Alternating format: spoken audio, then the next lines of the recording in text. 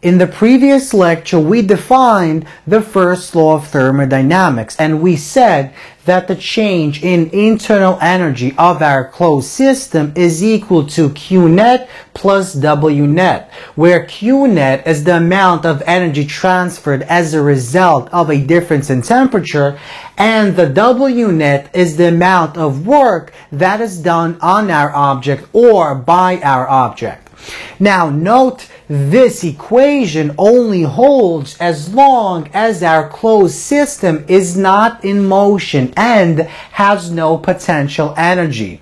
If our closed system is in motion and it has potential energy, then that means this equation becomes the following equation. The change in kinetic energy of our moving closed system plus the change in potential energy plus the change in internal energy of our system is equal to the total amount of energy that flows in or out of our system given by Q net plus W net. So this is the extended version of the first law of thermodynamics and it works for a closed system in motion. So let's look at the following example. Suppose a 5 gram bullet travels along a horizontal axis with a velocity of 300 meters per second, enters a stationary wooden object and exits the other end with a velocity of 200 meters per second. How much energy is transferred? So let's suppose that we choose our bullet object as our system.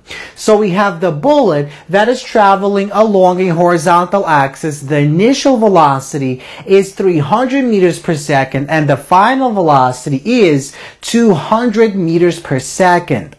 So let's look at the following equation. So because our object is in motion, that means that we have to use this equation. Now, because the object is on the same horizontal level in the beginning and at the end, that means that our change in gravitational potential energy is zero joules. Now notice because the surroundings and our bullet object system are at the same exact temperature, because we make that assumption, that means no energy is transferred as a result of heat. And also because no outside forces are acting on our bullet object system, that means the W net must be zero as well. So we're going to look at the change in kinetic energy and the change in internal energy of our system. So notice our bullet loses velocity. Where does that velocity go? Well, from this equation, we see that velocity that is lost, the kinetic energy that is lost, is transferred into the internal energy of the bullet and the object system. So, we have the following equation. The change in kinetic energy plus the change in internal energy is equal to zero. So, whatever energy our bullet loses, that energy goes into increasing the internal energy of the bullet and the block as the bullet travels through the block, through the object.